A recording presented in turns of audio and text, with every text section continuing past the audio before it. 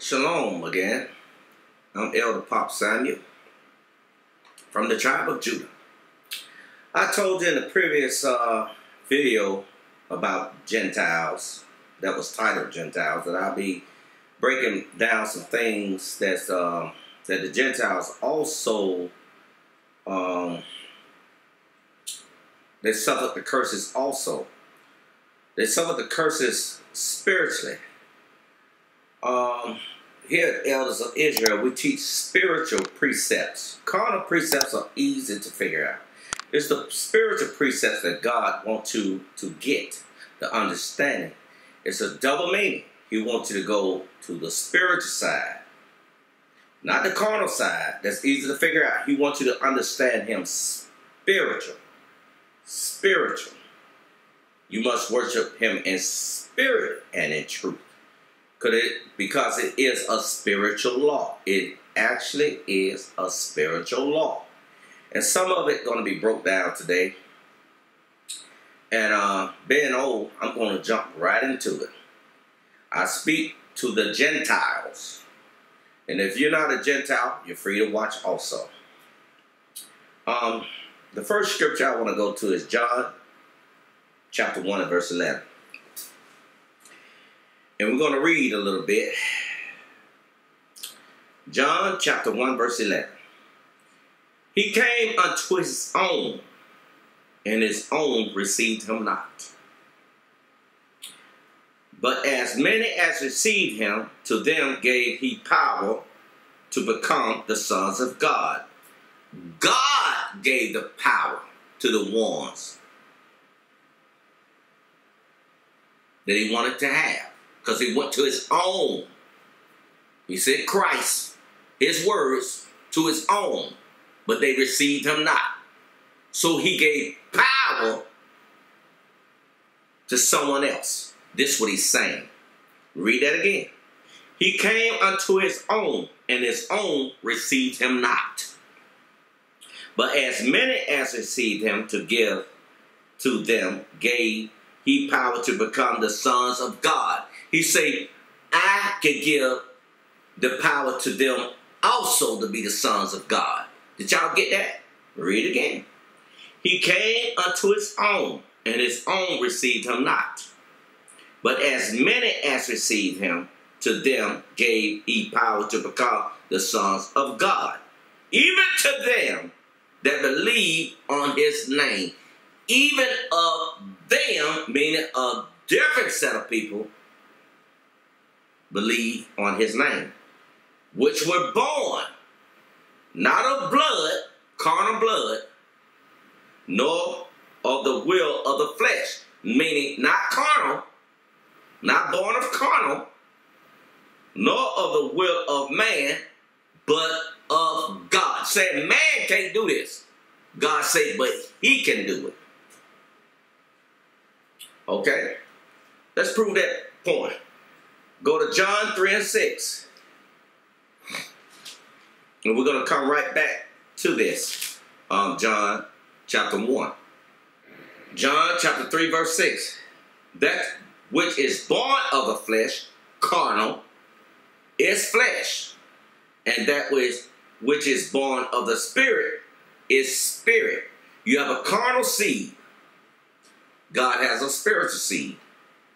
That's what he's saying. So we're going to go to Luke chapter 8, verses 11 to prove that point. Because this, this is the seed what Abraham sowed.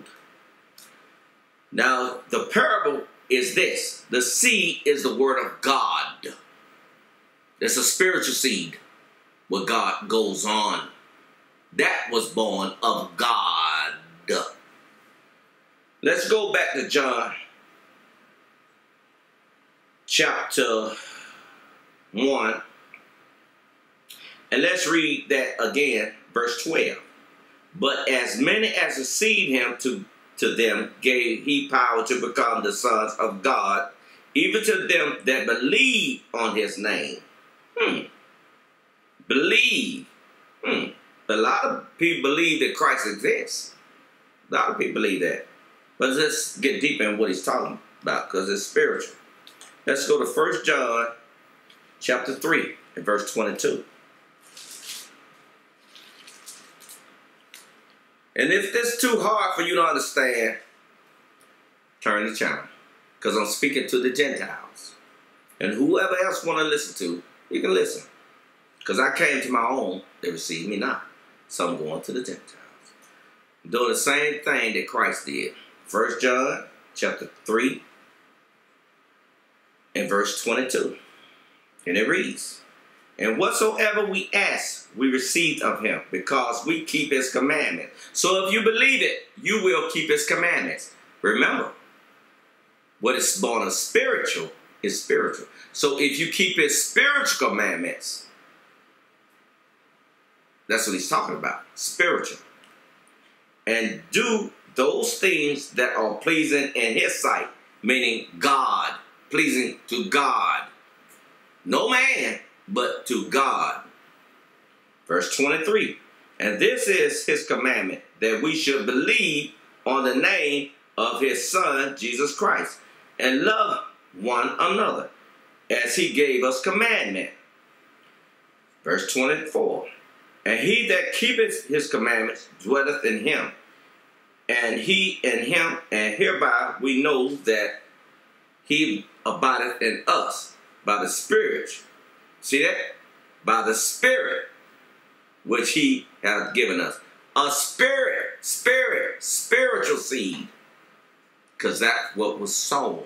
Luke chapter 8, verse 11. Everyone won't get this because it's a carnal precept. They tend to go to the carnal side. He wants you to go to the spiritual side. Okay. Let's go to Acts verse 28 and 20, and we're going to read verse 28 through 31. And please write, write. And um, I'll answer all questions. And they're going to come out the Bible. Spiritual precepts, spiritual understanding. Acts chapter 28 and verse 28. And it reads, Be it known, therefore, unto you that the salvation of God is sent unto the Gentiles. And he that will hear it unto the Gentiles, and that they will hear it, the Gentiles will hear it. Hmm. Let's prove it.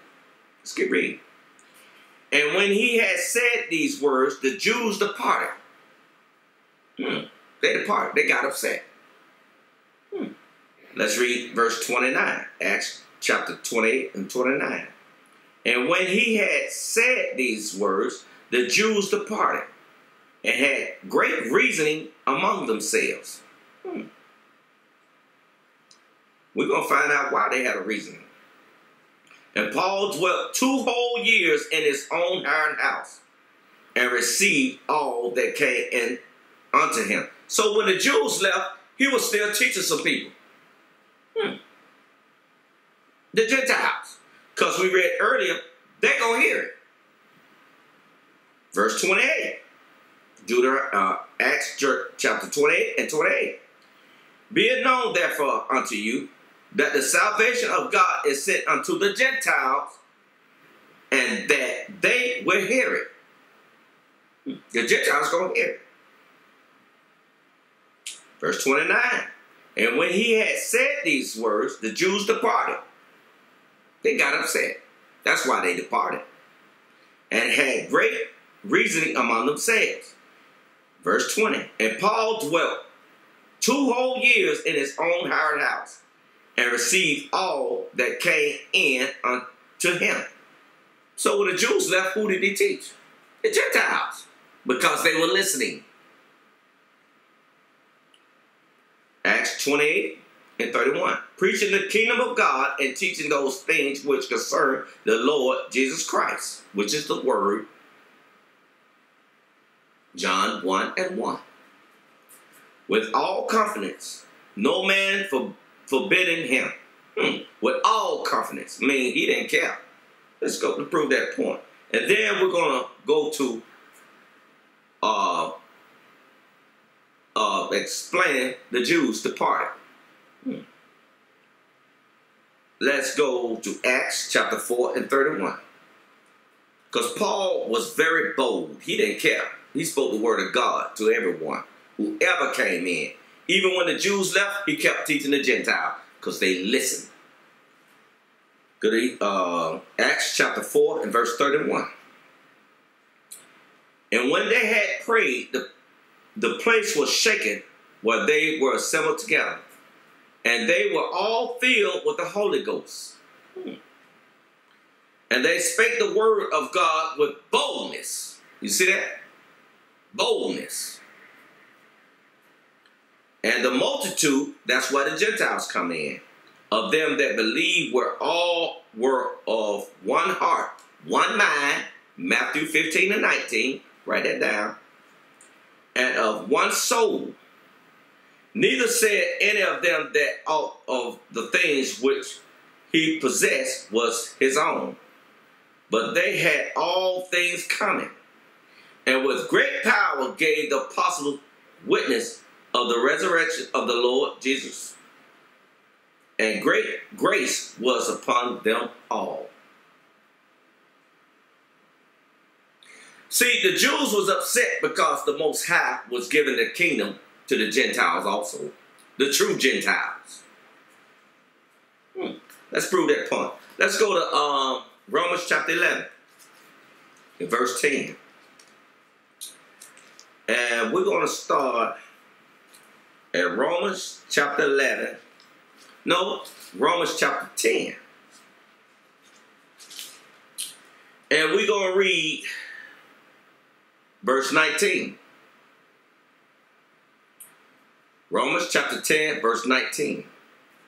But I say, did not Israel know? This is Moses. First, first Moses saith, I will broke Let's go to Romans chapter 10 and verse 19. But I say, did not Israel know? First Moses said, I will provoke you to jealousy by them there are no people. And by a foolish nation I will anger you. Because this nation did not have the spiritual law of God. But they're going to learn. Verse 20. But Isaiah is very bold and said, I was found of them that sought me not. I was made manifest unto them that asked not after me. Did you see that? But the Israel, he said, all day long, meaning the carnal Israel, because it's two Israels, and we'll bring that up. There's four different types of Israels. It's uh the progenitor. His name was Jacob, was chained to Israel. It was also um, the carnal Israel, the whole nation of Israel, the carnal nation of Israel. Then there's the northern kingdom was Israel, and Judah was the southern kingdom when it was split. Then there's a spiritual Israel. And we'll get that right after this. Four different types of Israel was mentioned in the Bible. But let's go and read uh, Romans chapter 10, verse 11. But to Israel he said, All day long I have stretched forth my hands unto a disobedient and gainsaying people. How long you think God be gonna reach be holding out his arm? This is God. We're going to come back to this on uh, Romans chapter 11. But I want to show you that it's a carnal Israel.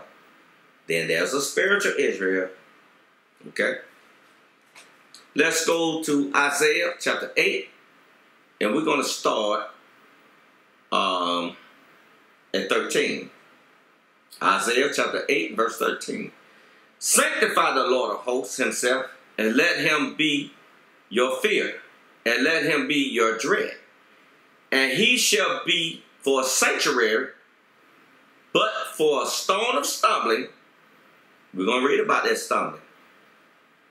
And for a rock of offense to both, both, both the houses of Israel, the carnal Israel,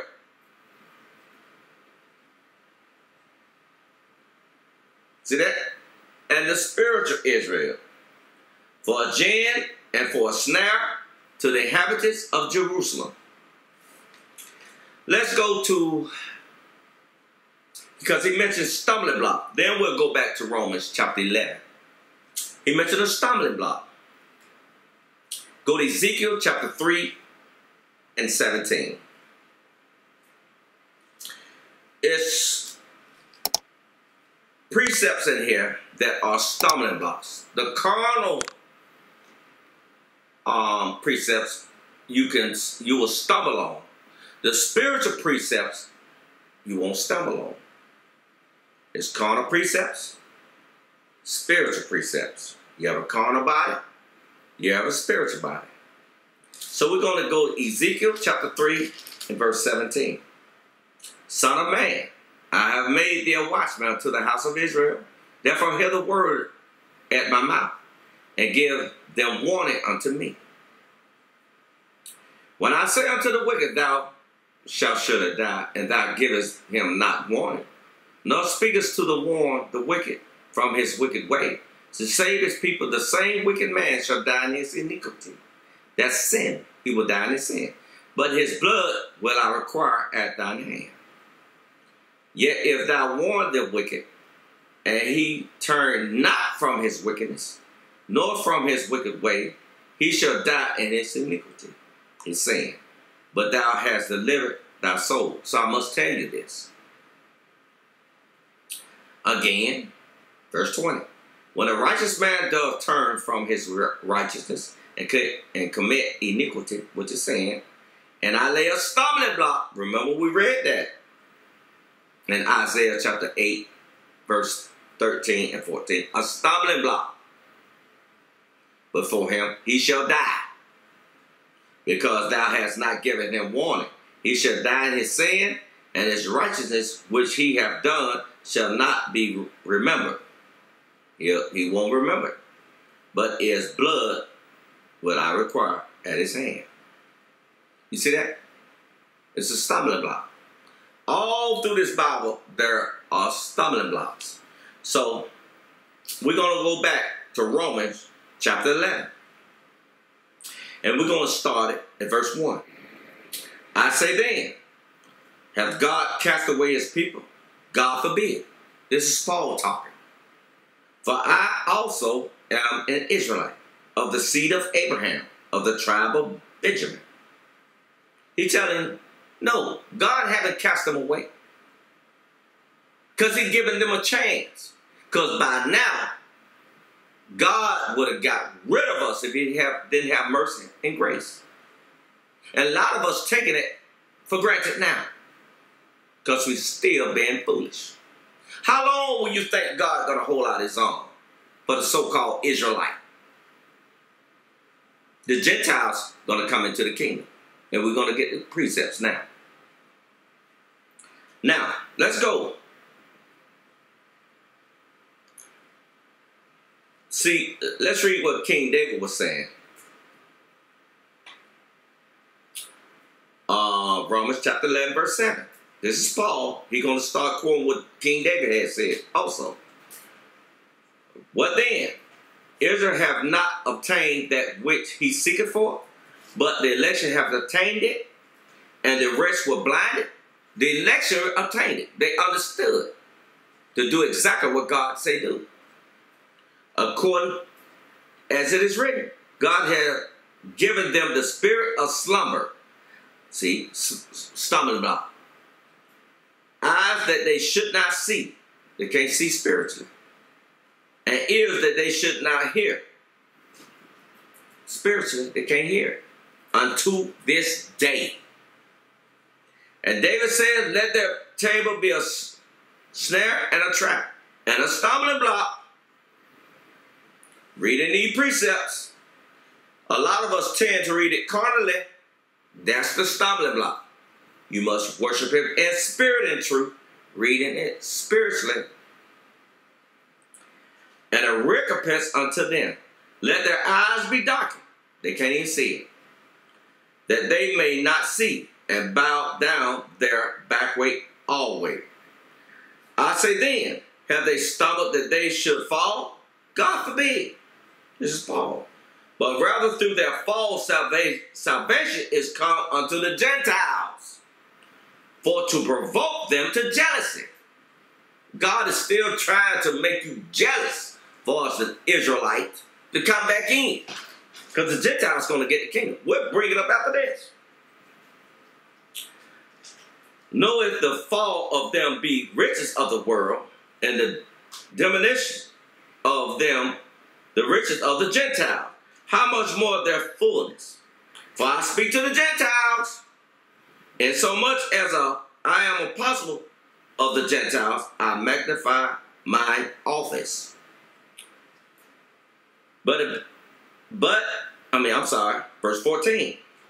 If by any means I may provoke to immolation, may bring back to make you jealous, God still having mercy on Jacob's seed, his carnal seed, them that which are my flesh, which is an Israelite, and might save some of them. For if the casting away of them be the reconciling, bring back of the word, the word, the world, I'm sorry, what shall the receiving of them be? But life from the dead. For if the first fruits be holy, the lump is also holy. And if the root be holy, so are the branches. And if some of the branches be broken off, and thou, being a wild olive tree, which is a man, tree is a man, according to Mark chapter 8, verse 24, were grafted in among them, and them, and with them, partakers of the root, and fatness, meaning takers of the root. You take God's law and be rooted into it, and fight and fatness of the olive tree, boast not against the branches, but if thou boast, thou bearest not the fruit, but the root thee. Thou wilt say then, the branches were broken off that I might be grafted in. Verse 20, well, because of unbelief, they were broken off. They were broken off. But the Gentiles gonna be grafted in and thou standest by faith. Faith. Meaning if they pick up, pick up this spiritual law by faith, like the Greek woman and the Canaanite woman that Christ healed by their faith, he gave mercy. These Gentiles be grafted in. But not high-minded, but fear. Did y'all see that? Let's go to uh, as soon as these Gentiles hear it. Psalms 1844. Because we read about the Jews left in Acts chapter 28 and 8, uh, 28 through uh, 31, 32. They left. The Gentiles stayed. Psalm 18 and 44. And it reads, As soon as they hear of me, they shall obey me. This is God talking. The strangers shall submit themselves unto me. Verse 45. Psalms 18 and 45. The strangers shall fade away and be afraid out of their closed places. The stranger's going to fade away because they are not going to be strangers anymore. They're going to be converted. Hmm. Let's prove that point. Let's go to, um, in the class, we're going to prove that point.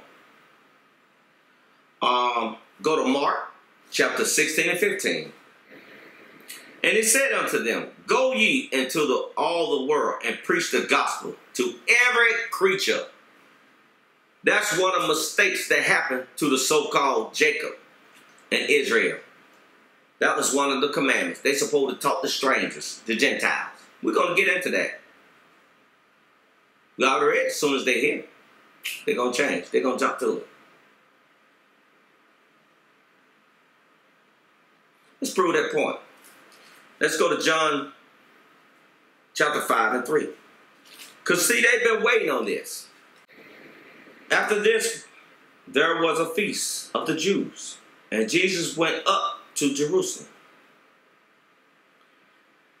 Now there is at Jerusalem by the sheep market of market of Pool, which is called in the Hebrew tongue Bethesda, having five porches.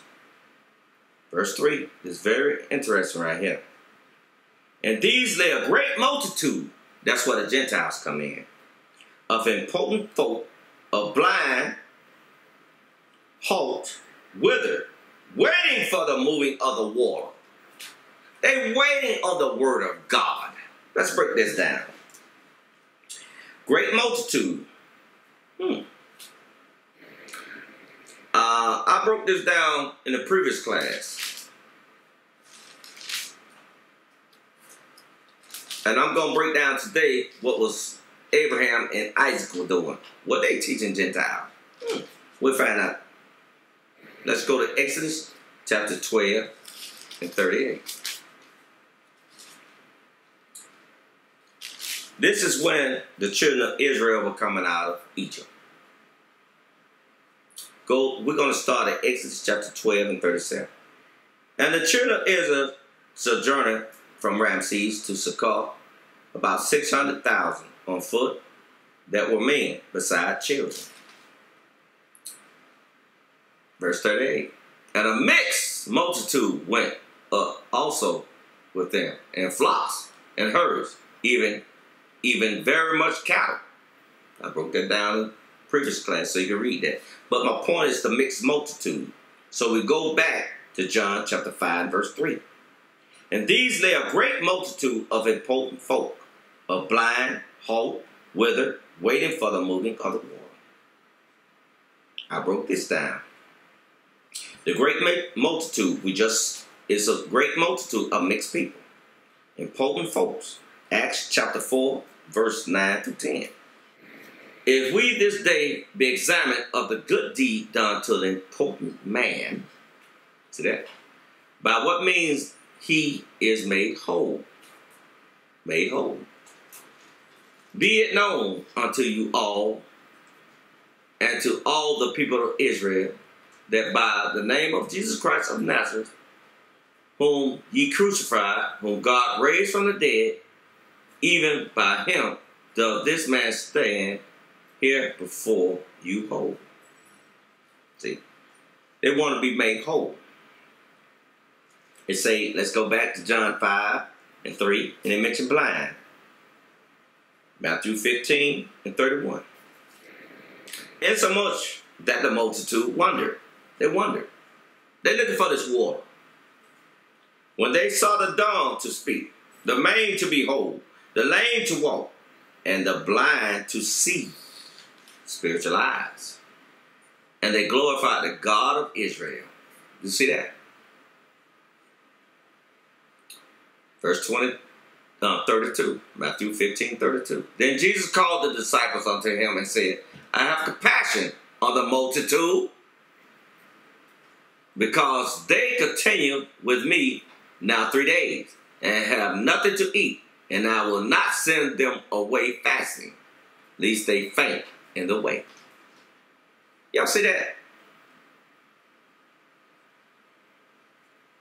It's all types of people around Christ. It's a mixed multitude. It's a multitude of people.